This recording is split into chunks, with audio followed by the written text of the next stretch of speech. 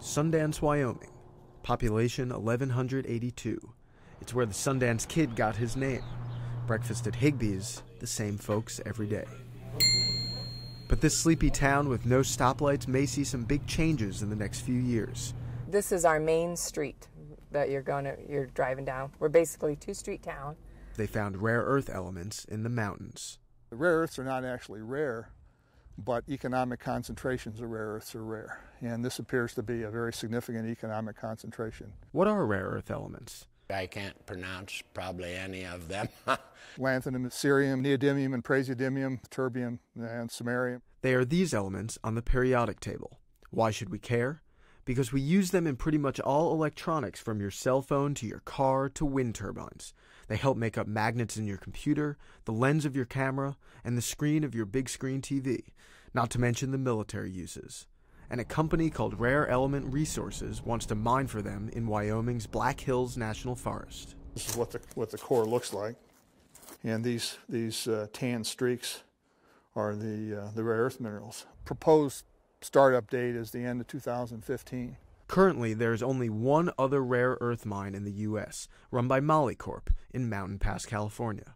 Over 95% of the world's production of these resources comes from China, and the United States, along with the European Union, Canada, and Japan, issued a complaint with the World Trade Organization in March, claiming China is unfairly restricting exports. Now, if China would simply let the market work on its own, we'd have no objections. So, what does it mean for Little Sundance? Many think it will be good for business. Norval Waller owns a motel in town. It's good for my business. It's a good thing for our country. It's a good thing for our state. It'll be a good thing for our county and city. We're having a meeting tonight, so we have to post our agenda. Kathy Lenz grew up in Sundance. Now she's the clerk treasurer of the city. You know, they already have infiltrated the community, rented up all the rentals. They shop the hardware store, they shop the parts store.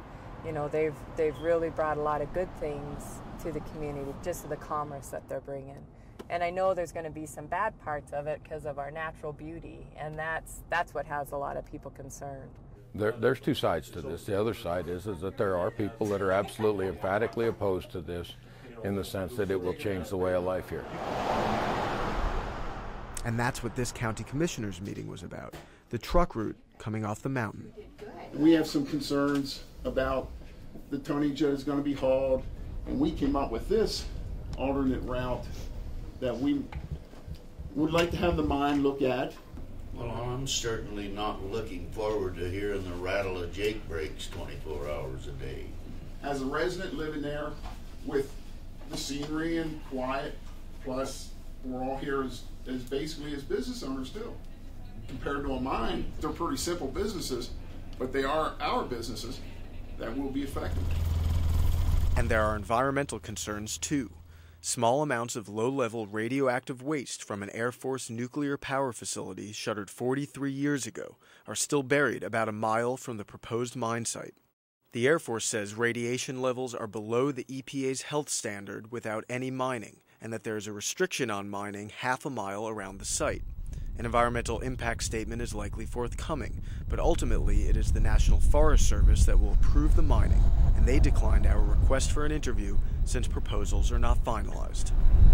And even if the elements are mined here in Wyoming, there's a good chance that they'll still have to be refined in China.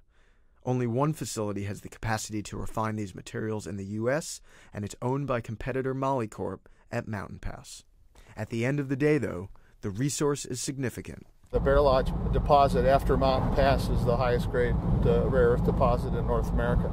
It also has a higher concentration of what are called heavy rare earth elements than Mountain Pass. Altogether, Rare Element Resources plans on producing over 10,000 tons of rare earth oxide a year for 19 years. I've made this drive hundreds of times.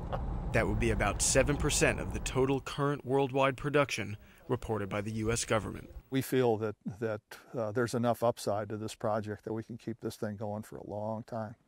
So the town is bracing for change.